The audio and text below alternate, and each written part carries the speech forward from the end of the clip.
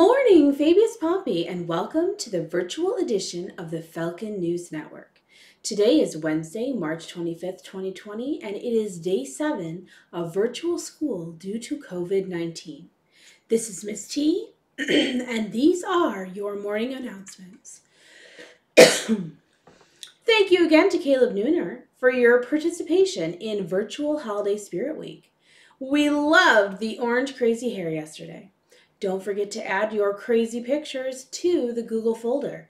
We're missing a lot of you that I know did it on Monday and Tuesday. Today we celebrate our older members of society who are being hardest hit by COVID 19. Happy Older Person Day.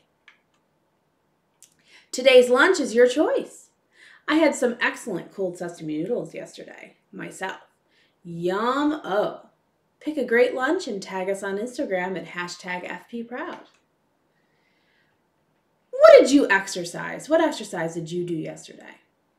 Don't forget to log it in the FP Student Body Classroom. Do something today that your future self will thank you for.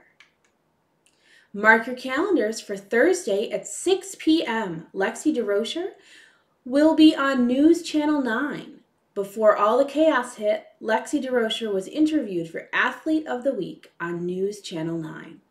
It will be on the on air Thursday morning at 6 p.m.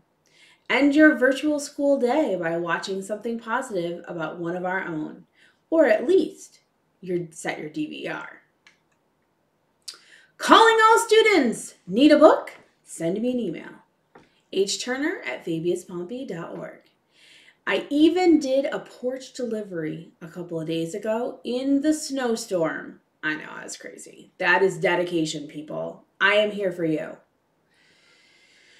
Did you know that there are tons of free book ebooks available right now due to COVID-19?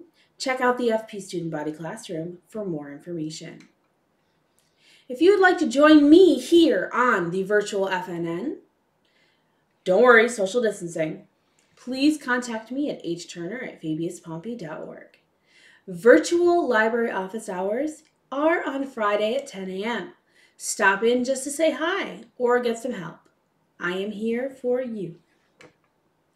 This has been the Falcon News Network, and I have a fabulous Wednesday.